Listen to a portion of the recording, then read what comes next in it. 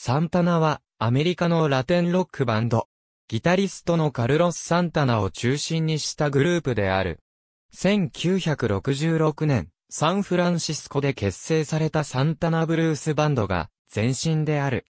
その後、サンタナと改名し、1969年にコロンビアレコードと契約してデビュー。それと、同時期にウッドストックフェスティバルに出演し、大きな話題となった。当時のメンバーには、グレッグ・ローリーがいた。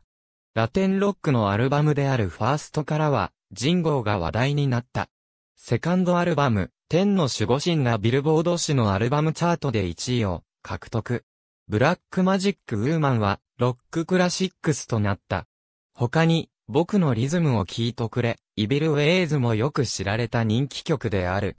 1971年のアルバム、サンタナ3では、ニール・ショーンが加入して、ツインギター編成となるが、ジャズロック色を強めた、アルバム、キャラバンサライ発表後、大幅なメンバーチェンジが起こる。新たに、トム・コスターらが加入した。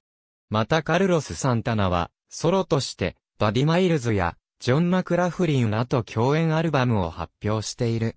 1973年7月の大阪厚生年金会館での模様は、横尾忠則デザインのジャケットでも有名なライブ版、ロータスの伝説に収録された。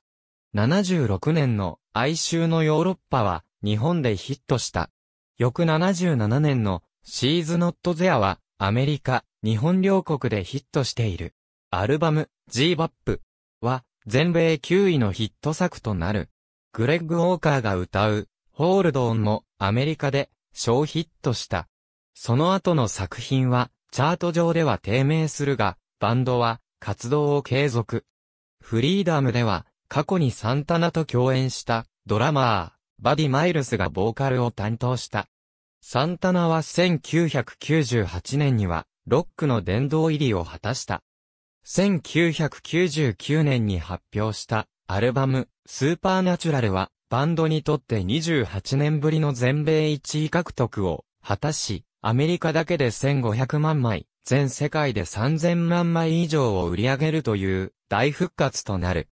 同作は、グラミー賞史上最多の9部門を受賞し、収録曲、スムースは、ビルボードのホット100で12週連続1位を獲得、バンドにとって初の全米1位シングルとなった。2002年には、アルバム、シャーマンも全米1位を獲得した。その後、ミシェル・ブランチをゲストに迎えた、ゲーム・オブ・ラブもヒットしている。2016年のアルバム、サンタナ4は、サンタナ3に参加したメンバーのうち5人が再結集して制作された。ありがとうございます。